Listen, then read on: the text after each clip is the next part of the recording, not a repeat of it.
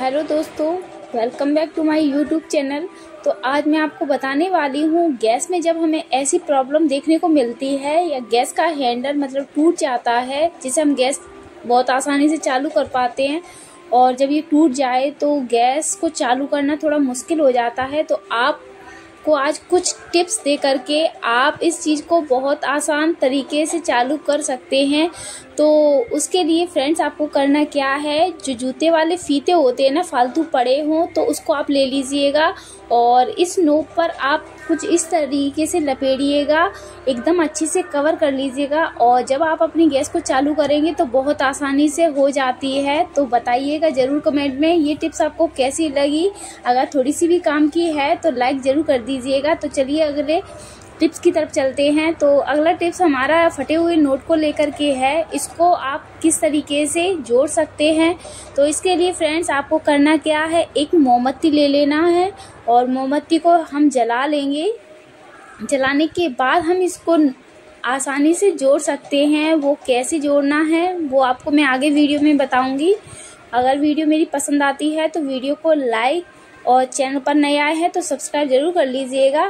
तो इस तरीके से हम मोमबत्ती को जला लेंगे। उसके बाद एक और मोमबत्ती लेना है और उसके बाद हम इसको नीचे की साइड से पिघलाएँगे। तो जैसे ही पिघलती है ना, वैसे ही हमें नोट पर जल्दी से लगा देनी है, जिससे क्या होगा ना, ये नोट बहुत आसानी से चिपक जाएगा। तो इस तरीके से जैसा कि आपको वीडियो में बताया जा रहा है सेम वैसे ही आपको भी करना है।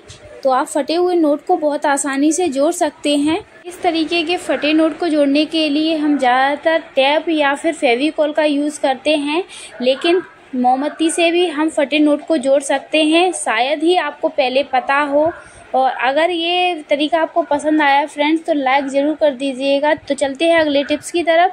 तो फ्रेंड्स, अगली टिप्स हमारी ये सर्फ एक्सल पैकेट्स को लेकर के है, जो सर्फ के पैकेट होते हैं या शैम्पू के पैकेट होते हैं, इन्हें हम यूज़ करके यूँ ही डस्टबिन में फेंक देते हैं। लेकिन फ्रेंड्स, अब से आपको डस्टबिन में ना फेंक करके इन्हें संभाल करके रख लेना है, क्योंकि इनसे बहुत ही अच्छा एक हैक आप बना करके तैयार कर सकते हैं।